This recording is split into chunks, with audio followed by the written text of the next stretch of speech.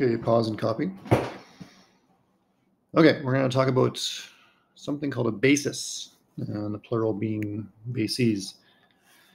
Um, okay, let's look at this most basic example in R2. Uh, maybe I want to say V is R2 in this case. So this set B is independent. I know that because 1, 0, 0, 1 has a pivot for every column.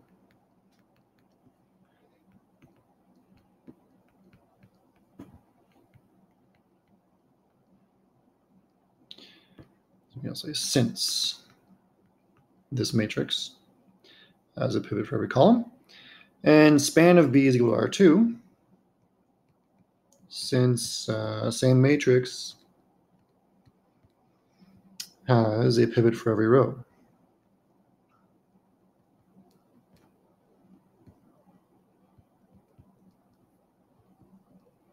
So this was discussed in 1.4, and this was discussed in 1.7. So anyways, this ZB is independent and it, uh, we'd say the span of it equals R2, or we say B spans, we'd say B spans R2. also say that. So what does this mean? Well, it means that um, the way I think of it is that the span of B is all of R2. So this set B in some sense is enough to cover all of R2.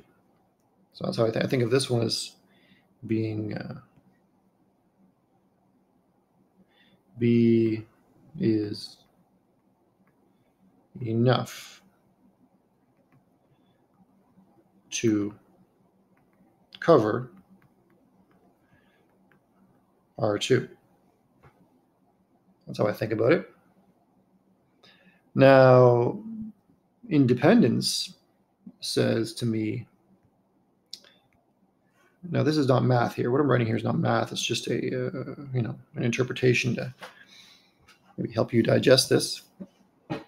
Independence means that um, it isn't too much. Uh, B isn't too much. Okay, what I mean by that is that um, is that um, there isn't any extra um, vector in here. You know, I think you agree that if I were to insert another vector, say uh, 2, 1, okay, that would be in some sense extra. I don't need it. I don't need this 2, 1, right? I don't need it to have the span of B equal R2. Okay, so that's how I think about it. Is independence in this case ensures that I don't have too much. And um, this span bit ensures that I have enough. Okay, so that makes my set B in a sense kind of perfect. It's just enough, but not not too much, not too much. Okay, so this is how we're going to define a basis. So we're going to say, I'll give you definition in a second.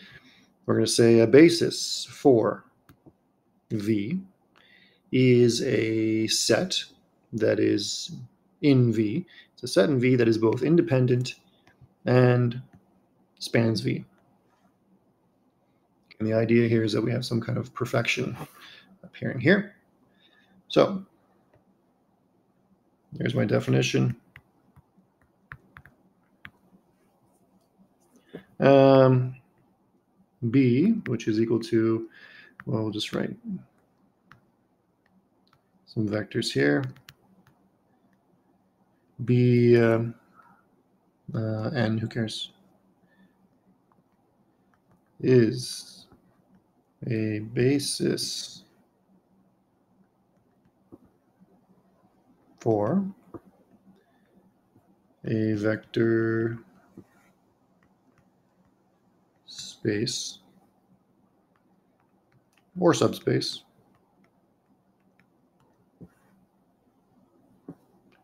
V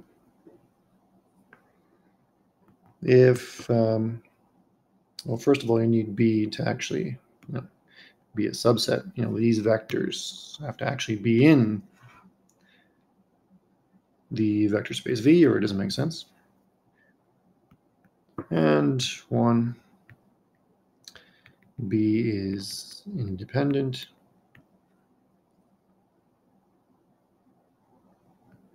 And two, span of B is all of V. Okay, so we use this for a vector space V. We can also use it for a subspace H if you wanted to. So we're defining the word basis. So basis is a singular and bases would be a plural.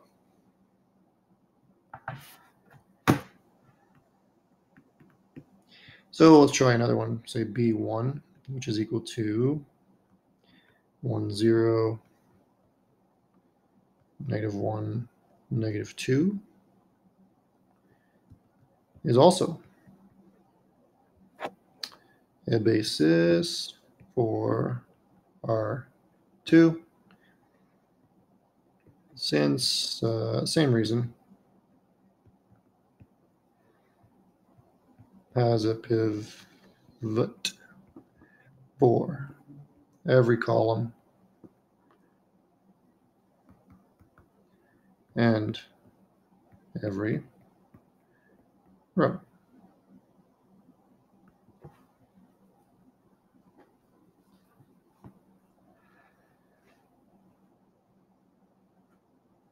Okay, so I'm going to do a series of examples to help you get a feel for this. So let's move on to R3. It's called B. Uh,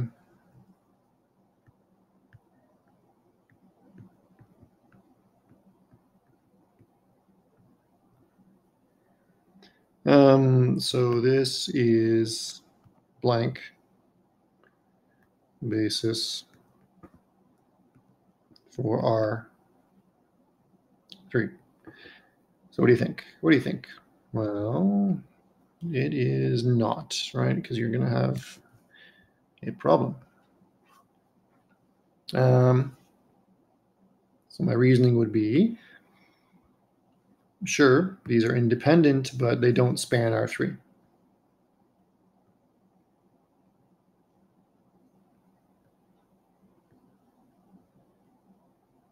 uh, does not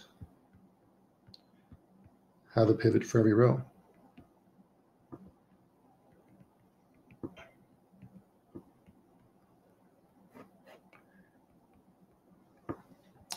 Therefore, span of B is not equal to all of R3. It is some subset. We say proper subset, meaning it's not the whole thing. Maybe put the word since here to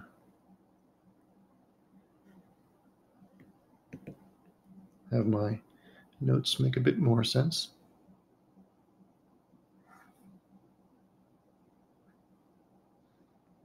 Okay, what else? What else? What else? Let's move on to a more abstract setting. Not abstract, but um, less familiar. Okay, let B is equal to um, 1. Um, bapidi-boo, bapidi-boo, 1 t squared 2 minus 3 g squared. And the vector space in question is polynomials of degree at most 2.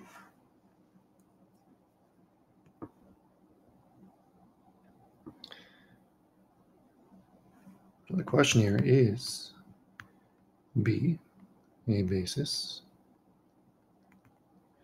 for V. So how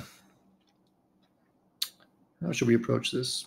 Well, let's start with number one. Is it independent?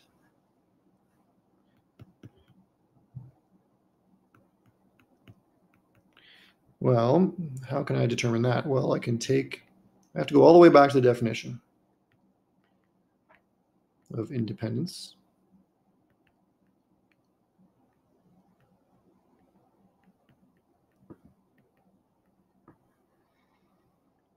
So I write down this linear combination equal to zero, and I ask, does this have a non-trivial solution?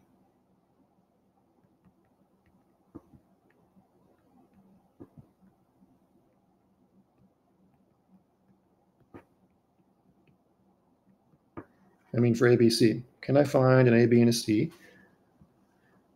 not all zero, that make this equation true? Um, just by inspection, I can see that um, I can, right? You know, I got 1 and I got t squared. And here I have 2 times 1, and here I have minus 3 times t squared. So just by inspection, we say, we say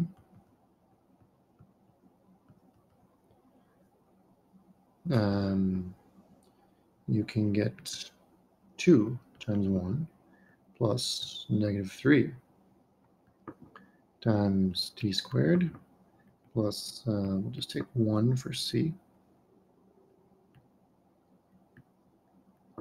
And it does equal 0.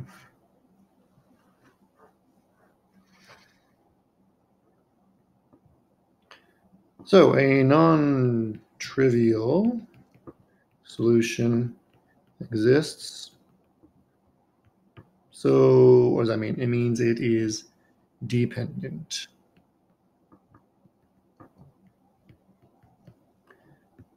So it cannot be a basis.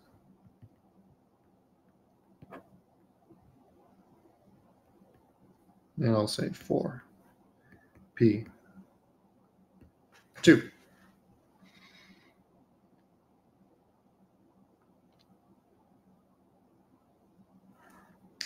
Uh, missing an S here.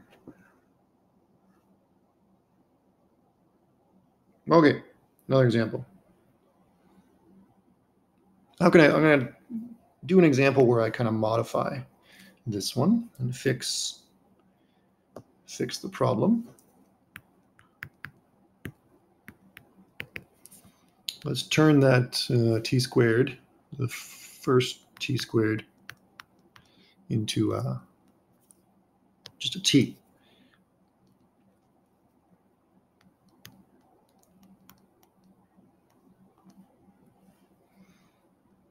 Okay, this will work.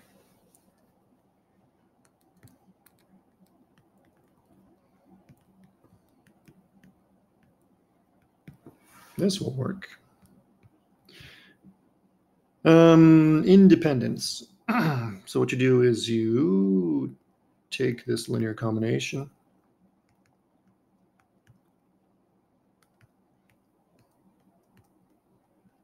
equal to zero, and you demonstrate that A, B, and C must all be zero.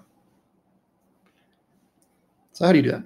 Well, you say, you say, well, let's collect like terms, A plus 2C plus bt minus 3c t squared is equal to 0. Now, I'm not sure how you did partial fractions back in Cal 2. But you can think of this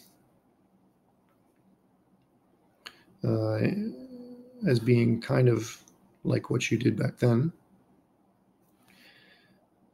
Okay, this 0 is equal to 0 plus 0t plus 0t squared.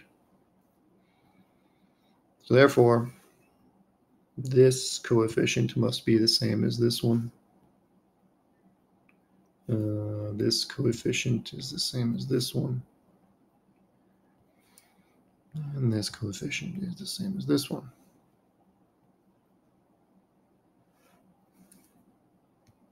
So taking the green ones, I get minus 3c is 0, so c is 0. And then taking the blue ones, I get uh, b is equal to 0. And then taking the red ones, I get a plus 2c is 0. And uh, I already know that c is 0, so a is also 0.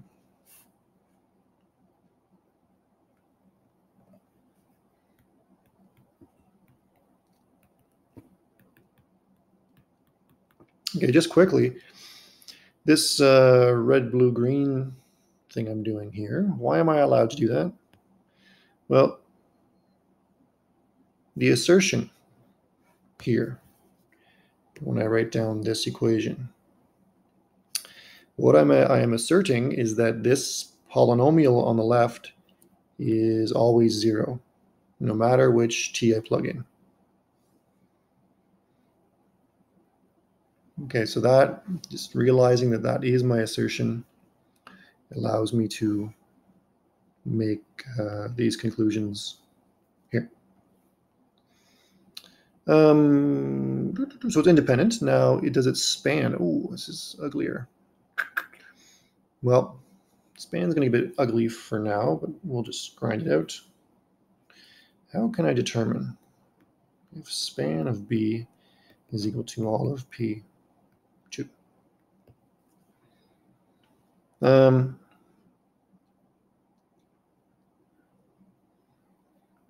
hmm, how should I go about that? Well, it's going to get messy no matter which way.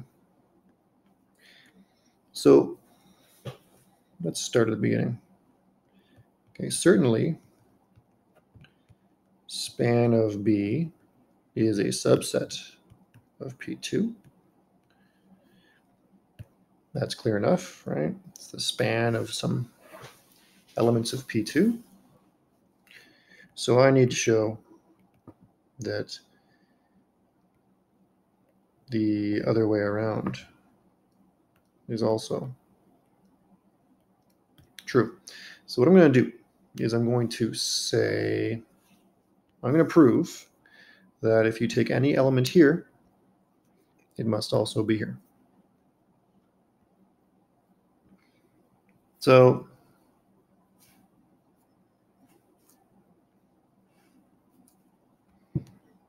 let P be in P2. So that implies that P is equal to, um, well, it's like a constant term plus, we'll say E, E is a bad choice, but oh well, ET plus FT squared. It has to have that form, right?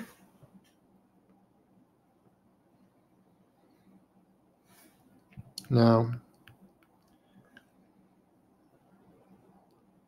um, does this equal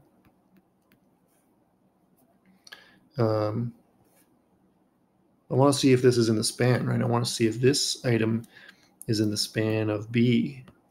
What is B? B is B, B is the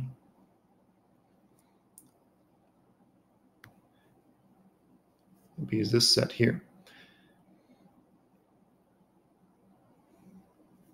So I want to see, does my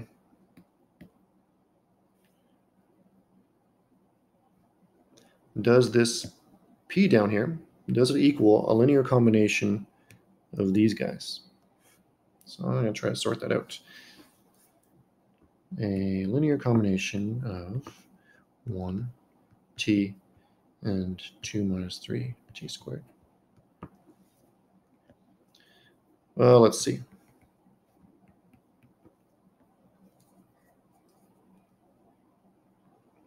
So I'll just try to do it. We'll just go set it equal and see what happens. Do, do, do, do. Is it equal to uh, something times 1 plus something times t plus something times 2 minus 3 t squared.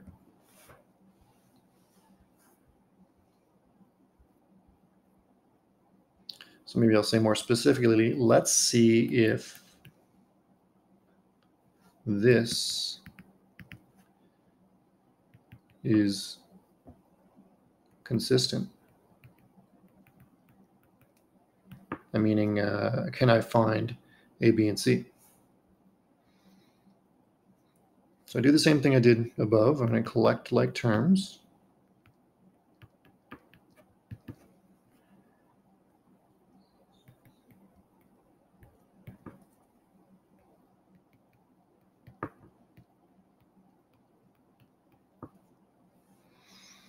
So if this were to work, I would need uh,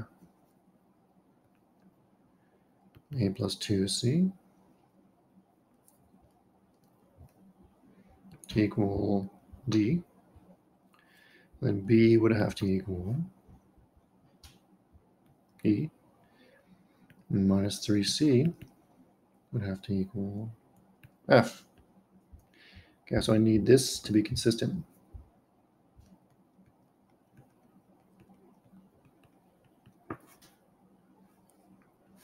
So when I say consistent, let me repeat. I'm I'm thinking of A, B, and C as being my kind of X, Y, Z I usually use when I have a system of equations.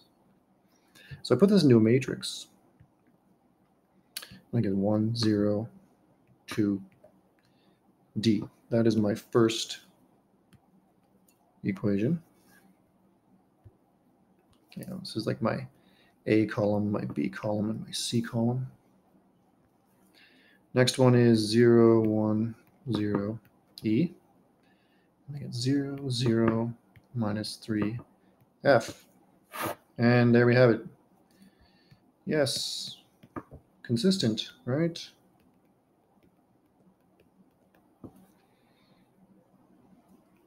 Okay, so what does this tell me? A bit tedious, but therefore, P is in the span of B. And excuse me, what have I proven? I have proven that um, since P here is anything, is absolutely any polynomial in P2, I've proven that any polynomial in P2 is in span B, which tells me that P2 is a subset of span B.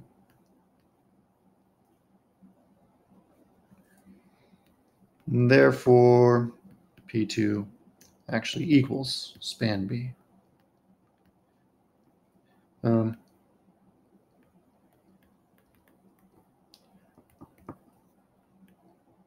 because earlier I noted that P2 uh, obviously contains span B. Okay, so my reasoning here is that if P2 is in span B and span B is in P2, how can that possibly be true? Well, only if they're equal. Okay, so what am I doing? Uh, okay, so I've proven one and two. Therefore,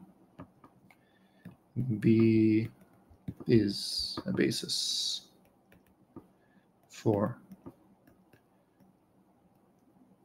too.